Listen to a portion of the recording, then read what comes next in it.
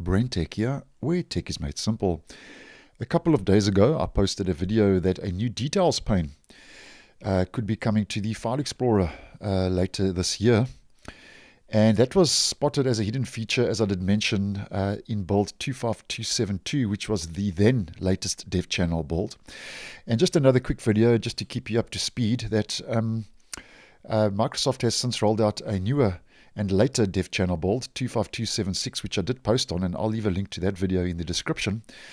But uh, it has now been confirmed that um, the new details pane uh, which is in still very early days uh, is in fact a feature that is a hidden feature um, for the file explorer in that latest dev channel build 25276 and um, that was spotted by the Windows enthusiast uh, Phantom Ocean 3 over on Twitter uh, who is known to, um, you know, post these hidden features. He does a bit of deep, deep, deep digging, so to speak, and he finds these hidden features, which we call our hidden features, and Microsoft could be working on internally.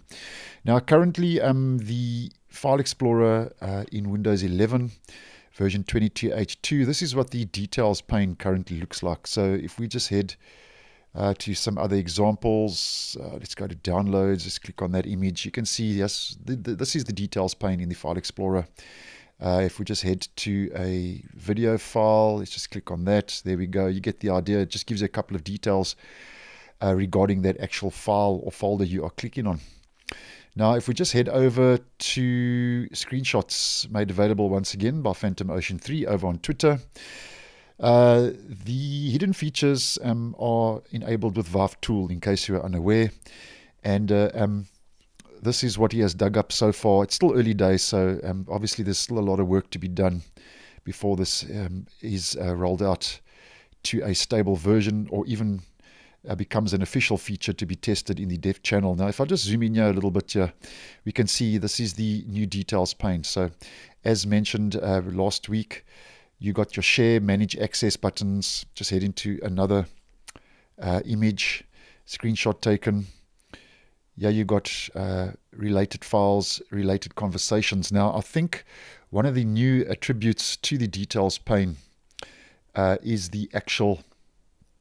One of them is the uh, conversations and activities. So here we can see related conversations. So there's a couple of meetings uh, in this example that were related conversations and then just head into another screenshot. Uh, you've got your activity here. We can see activity. So I think those would be the new real new additions, activity and related conversations. But yeah, you get your other details like you currently more or less have regarding the location, date created, modified, file type, and so on.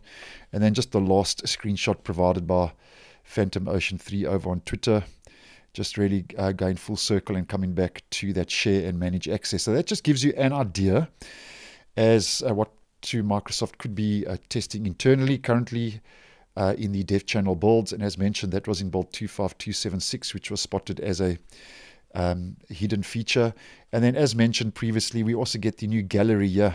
I don't know if you can actually see that uh, correctly or properly in the video, but that's a new gallery entry that's coming um, just below the home button. And if you have uh, OneDrive, it'll be between home and OneDrive gallery, which at this stage is very similar to the actual pictures, but nonetheless, still very early days. And just letting you know now that um, it is a possibility, although not confirmed, that uh, that details pane.